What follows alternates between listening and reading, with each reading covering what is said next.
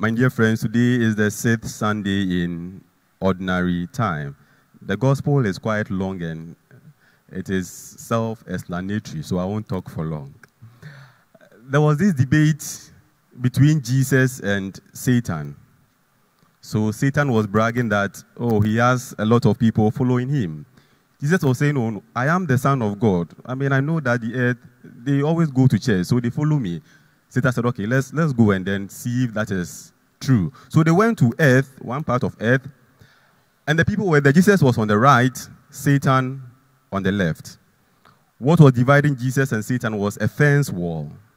So Jesus was crying out. People were following Jesus. They would come to the right. Satan was also crying out. They would also come to the left. And there was this man. He just climbed the fence and sat on it. He didn't make a choice. So Jesus disappeared. He left with his followers.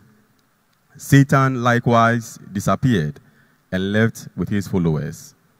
After three minutes, Satan returned as if he was looking for something that was lost. This man on the fence said, ah, Satan, are you looking for something? Satan looked at him and said, No, don't worry. I found what I'm looking for. I am looking for you. The man said, ah, But I didn't make a choice. I am sitting on the fence. Satan smiled and said, I own the fence. My dear friends, life is full of choices. Every day of our life, we make choices. And we are responsible for the choices we make. I'm sure you chose to wake up the time you woke up. You chose the dress you wanted to wear, the food you wanted to eat. You chose to come for evening mass. You could have come for any other mass. We may have made choices in life that we are not so happy about. We thought they were good choices, but at the end, they ended up to be bad choices. If we could turn the hands of time, I am sure we would make a different choice. But for some people, they tend to be indecisive, to sit on the fence, forgetting that the fence belongs to Satan. Today, Jesus is placing before us life and death, fire and water, good and evil. He is asking us to make a choice. He is giving us that free will. He does not give license to anyone to sin. He would want us to freely choose Him, to choose life. These small choices that we make in life, I mean, they are good. But there's a great choice that today the Lord is asking of us, and that is life and death.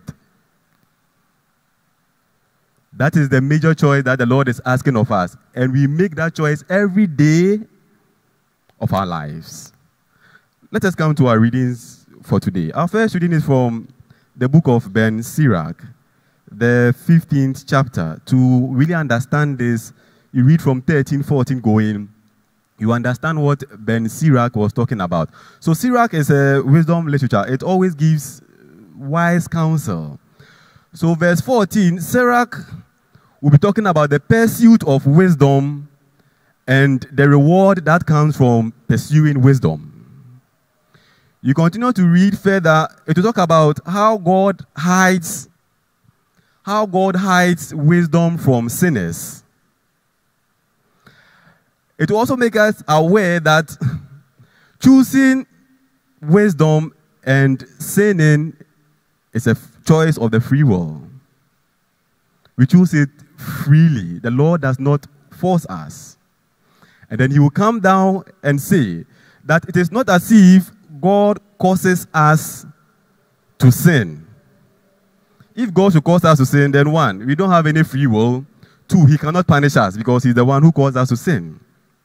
But my dear friends, we are all given the freedom to choose. To choose life or death. That is what Sirach is telling us.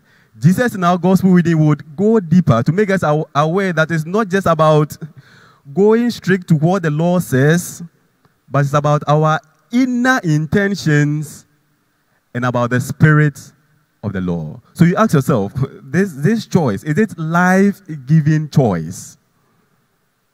or it is a choice that will lead me to death.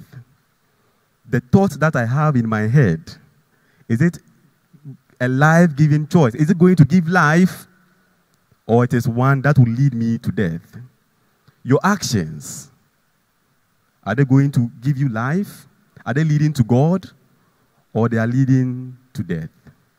You say, "Oh, I don't, I don't murder. I mean, I've not killed anyone. That is fine." But Jesus will tell us it's not just about taking a knife and killing someone. It's about the inner intentions, our anger, how you control your anger. Sometimes the words that comes out from our mouth can kill faster than even taking a knife to kill someone. Jesus wants us to understand today that it is not just about going straight to the laws as the scribes and Pharisees who do. So he will tell us, unless your righteousness surpasses that of the scribes and Pharisees, the laws are on their lips. They can recite it, but they never practice it. They will put heavy burdens on people. They themselves will not even lift a finger to help. What choices have you made last week that you were not so happy about? Just reflect. They choices of life, choices of good, choices that would bring you closer to God, or choices that would drive you away to Satan? The choice is yours today. The Lord is asking you to choose what is right. It is the only way that will lead you to heaven. May the good Lord bless and keep us. Amen.